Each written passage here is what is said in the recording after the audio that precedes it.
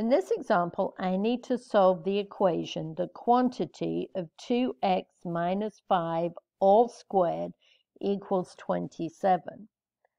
One way to solve this problem is to expand the quantity 2x minus 5 all squared, collect all my terms on one side of the equation. I would have a quadratic equation that I could then solve by either factoring or the quadratic formula. But this specific type of problem here can be solved by a shorter method because in this case I have something all squared equals a number. And when you have something squared equals a number, you can solve that type of equation by the square root property. This method is only used if the equation can be written in the form of u squared equals d, where u is an algebraic expression and d is a non-zero real number. First, we have to isolate the squared expression on one side of the equation and the number d on the other. So I'd get u squared equals d. Then I can take the square roots of both sides, and when I do that, I get u equals, don't forget, plus or minus the square root of d, because the equation u squared equals d has two solutions to it.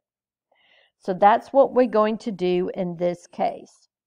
So the first step is to isolate the squared expression on one side. Well, that's already done for us. So now all I have to do is take the square roots of both sides of this equation. So I get the square root of the quantity 2x minus 5 all squared equals, don't forget your plus or minus, the square root of 27. Well, what do I get when I take the square root of 2x minus 5 all squared? These two undo each other, so I just get 2x minus 5 equals plus or minus now all I have to do is simplify the square root of 27. 27 is not a perfect square, so let's factor it. It is 3 times 9. 9 is a perfect square and 3 is a prime number, so I can write my square root of 27 as the square root of 9 times 3. So now I just get 2x minus 5 equals plus or minus, what's the square root of 9? It's 3. Can I simplify the square root of 3? No, so it just stays as the square root of 3.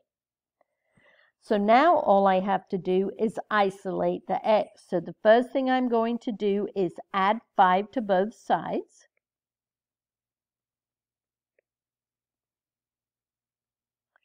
So I get 2x equals 5 plus or minus 3 times the square root of 3. Be very careful at this stage. It's very tempting to do 5 plus 3 or 5 minus 3. You cannot combine these two terms because this is 3 times the square root of 3. These are unlike terms. You cannot combine them. So now the only thing left to do is get x by itself is I divide both sides by 2. So I get x equals 5 plus or minus 3 times the square root of 3 all divided by 2. Nothing will simplify over there, so that is one way of writing the two solutions to this problem. But once in a while, you're asked to write the two solutions individually. So you'd write x equals 5 plus 3 times the square root of 3, all divided by 2. That's one solution. The other one is x equals 5 minus 3 times the square root of 3 over 2. But a more concise form is to write x equals 5 plus or minus 3 times the square root of 3, all divided by 2.